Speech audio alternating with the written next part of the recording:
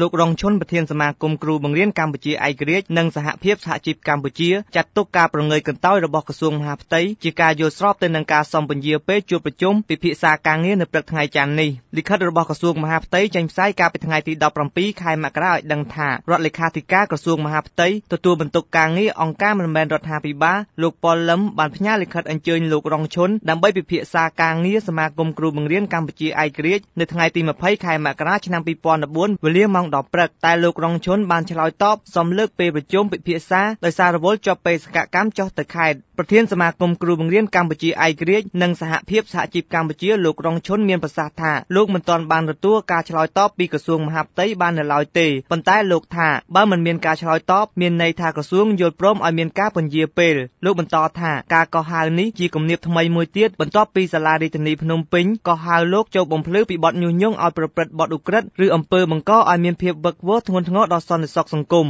ជំវិញបញ្ហាកោះហៅវិភាសានឹងវាអានឹងវាជាសិទ្ធិសេរីភាពរបស់ក្រសួងបែរគ្រាន់តែយើងគិតថាវាជាគំនាបសាជាថ្មីមួយទៀតដែរហើយក៏ជាការ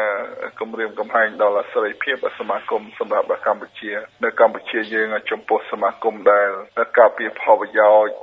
ពិតប្រាកដ ចូលនៅគ្រូបង្រៀនបាទការអញ្ជើញលោករងឈុនឲ្យចូលពិភាក្សាការងារសមាគមរបស់លោកជាមួយក្រសួងមហាផ្ទៃធ្វើឡើងបន្ទាប់ពីលោកបានចូលរួមដឹកនាំកម្មកររាប់ម៉ឺននាក់ធ្វើបាតកម្មទាមទារប្រាក់ឈ្នួលគោល160ដុល្លារនិងប្រកាសឲ្យគ្រូបង្រៀនចេញតវ៉ាទាមទារប្រាក់ខែ250ដុល្លារក្នុងមួយខែដែលសកម្មភាពទាំងនោះធ្វើឡើងស្របពេលនឹងការធ្វើបាតកម្មរបស់គណៈបកសង្គ្រោះជាតិ VOD ព្យាយាមតាក់ទងលោកប៉ុលលឹមដើម្បីសមអត្ថាធិប្បាយបន្ថែមលើការអញ្ជើញប្រជុំការងារនេះប៉ុន្តែលោកប្រាប់ថាជាប់រវល់ប្រជុំ ជាប់ជុំជាប់ប្រជុំដូចសិនជាប់ប្រជុំ